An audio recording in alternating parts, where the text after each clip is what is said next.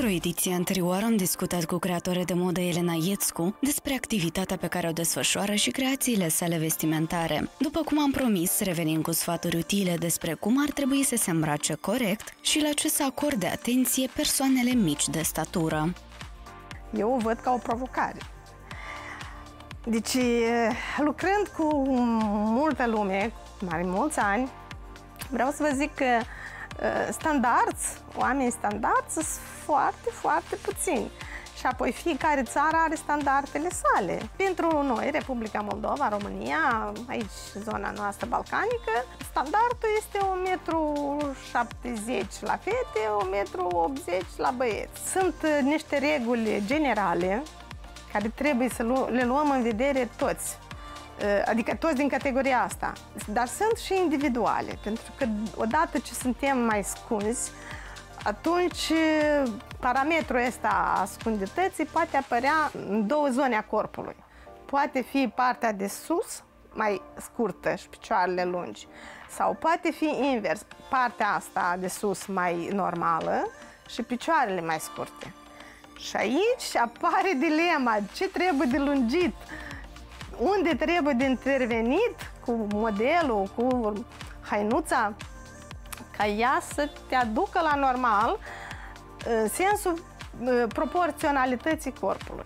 Femeile scunde aș da un sfat ca să nu îmbrace culori închise, pentru că le face încă mai mici. Și, dacă se poate, în linii verticale, pentru că asta vizual lungește. Femeile cu înălțime scundă, e bine să poartă cizme mai lungi. În cazul bărbaților mici de înălțime se aplică alte reguli vestimentare. La bărbat, de exemplu, silueta este un pic inversă la femei. Șoldul e mai proeminent și umerii mai înguști. La bărbați invers. Ar putea să poarte, mă repet, trebuie să fugiți de culoarea negru. Pentru că negru micșorează și bărbații îmbrăcați în negru la fel devin încă mai, mai mici. Din contra să poarte culori mai care îi avantajează.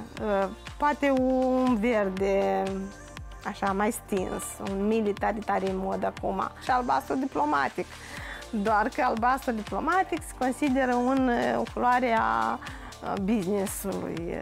Pentru persoanele scunde, bărbați, femei, eu recomand să fie îmbrăcați de întregul în aceeași uh, nuanță măcar.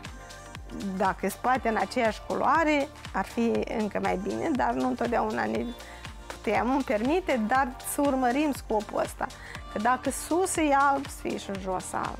Dacă sus e albastru și jos să fie albastru. Sau să fie combinizon la fete ori să fie fustă pantalon, sau sacou pantalon, sau sacou fustă lungă, în niciun caz scurtă, ă, pentru că încă mai tare, cât mai puține linii orizontale să vă permiteți, adică pentru că asta iarăși scurtează din lungime. Pantoful ori închis cu totul, să nu se formeze bara asta, să vede pantoful ori să fie pantoful de întregul, ori să fie un pic mai ascuțit, uh, nu de ăștia cu botul tăiat. Să combine pantoful cu pantalonul, asta iarăși lungește dă impresia că e de întregul totul. Și încă un moment care ajută la lungirea celor scunzi sunt uh, acoperitoarele de cap, gen pălării. Pentru că pălăria, ochelarii, forma ochelarilor, pălăria, Iarăși e un um, criteriu de bun simț, de eleganță, de combinația hainelor. La bărbați le-aș zice că dacă scunzi, nu trebuie să poarte pantaloni cu buzunare laterale, așa ca militariști la zona genunchiului. Atât pentru bărbați cât și pentru femei, frizura este un alt detaliu pe care nu ar trebui să-l neglijăm. Fetele, dacă unde uh, ar fi bine să poarte părul mai lung.